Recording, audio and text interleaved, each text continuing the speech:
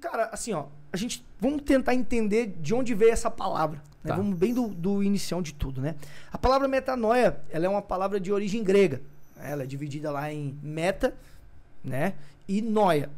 Então é literalmente, de uma forma bem simplória, ela é mudar a mente, mudar a mentalidade, mudar a forma de, de pensar. Tá. Também foi uma palavra muito popularizada nos tempos de guerra. Né?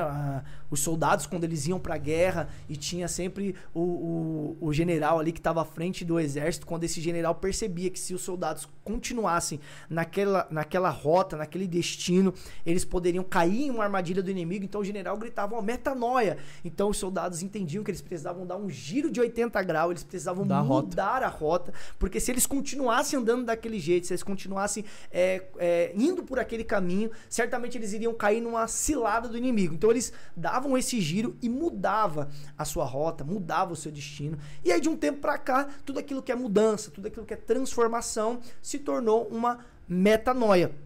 O apóstolo Paulo também vai falar isso, né? Romanos 12, 2. É, é, não se amolde ao padrão desse mundo, é, mas renovem a sua mente para que vocês possam ser transformados e experimentar a boa, perfeita e agradável vontade de Deus.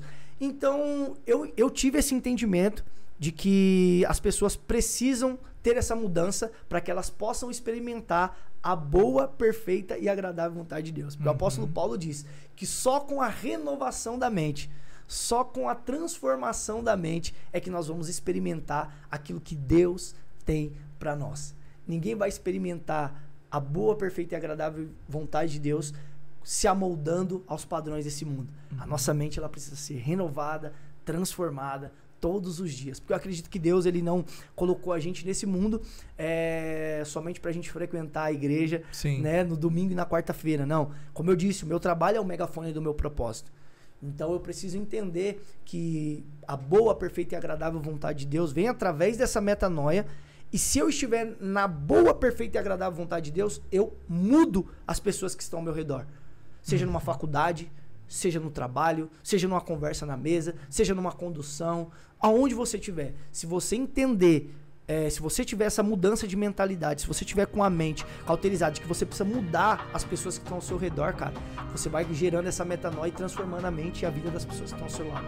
É isso aí, turma. E esse é apenas um trechinho do episódio completo do podcast Espiritualmente que você pode encontrar aqui no link dessa descrição para assistir quando quiser.